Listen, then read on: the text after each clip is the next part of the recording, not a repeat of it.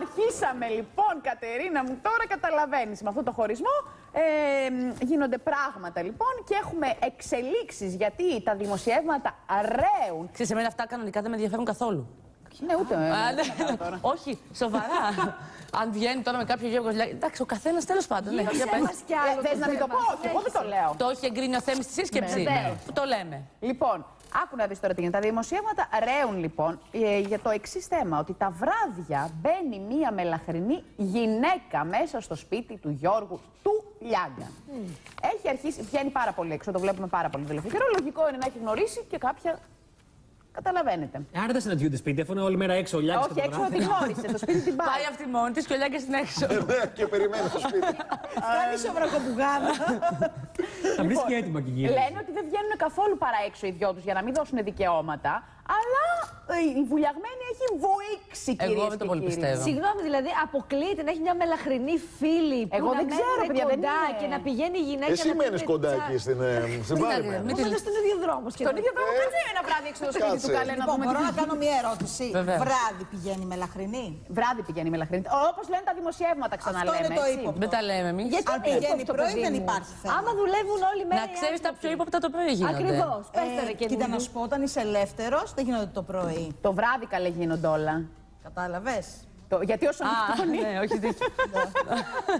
Στους παντρεμένους γίνεται το πρωί. Στους παντρεμένους γίνεται. Το πρωί, γιατί δεν μπορεί να δικαιολογηθεί το βράδυ. Η αλήθεια είναι όμως ότι εμείς που κάνουμε τηλεόραση και παντρεμένοι να είναι κάποιοι, δεν μπορεί γιατί σε βλέπει ο άλλος. Κατάλαβες. Ξέρει πάντα που είσαι. Αυτή είναι η. Ναι, την τηλεόραση δεν κάνεις όλη μέρα. Εντάξει, παιδί μου, άλλο να είσαι τώρα και να πεις πάω δουλειά μια ώρα νωρίτερα. Και άλλο τι θα πεις εδώ, ότι θα- αφού σε βλέπει ο άλλος. Αλλά μετά όμως φεύγεις. Μετά λες, έχω γύρισμα. 11 η ώρα έχεις εξαφανιστεί, ξέρει ο άλλος. Δηλαδή, Τέλος εγώ τώρα ο πάντων. άντρας μου ξέρει μετά από εδώ τι κάνω εγώ.